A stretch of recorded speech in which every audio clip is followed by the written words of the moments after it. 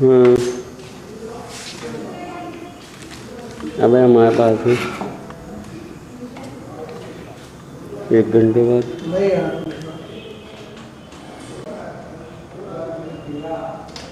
नहीं है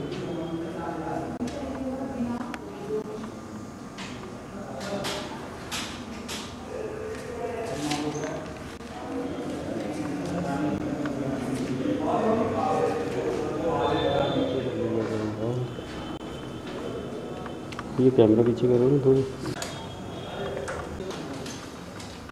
आज एक बजे करीब थाने पर था, जब ये टेलीफोन से मुखबिर से सूचना मिली कि सिंघई कॉलोनी का नरेश सिंह ठाकुर पांडे चौक पर खड़ा है, चाकू लिए है कोई वारदात करने की फिराक में है। सूचना पर स्टाफ के साथ जाकर घेराबंदी कर पकड़ा, तलाशी ली तो कमर में एक बटनदार चाकू खोसे था। गवाहों के समक्ष जब्त कर थाने लाए गए हैं। पच्चीस आर्मसेट के तहत कार्रवाई की जा रही है।